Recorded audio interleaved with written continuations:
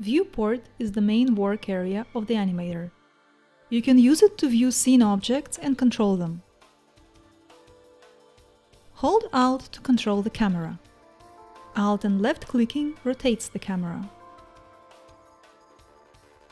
Alt and right clicking zooms the camera in and out.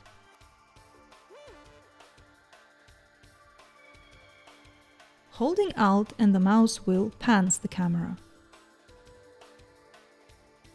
Center camera on an object by selecting the object and pressing T. View cube can be found in the upper right corner of the window. Click it to switch camera mode from perspective to isometric view and vice versa. Clicking one of the cones sets the camera to a corresponding orthogonal view. Pressing Ctrl and Alt switches camera view to a nearest orthogonal projection. You can also rotate the camera between orthogonal views by moving mouse while holding Ctrl, Alt and left mouse button.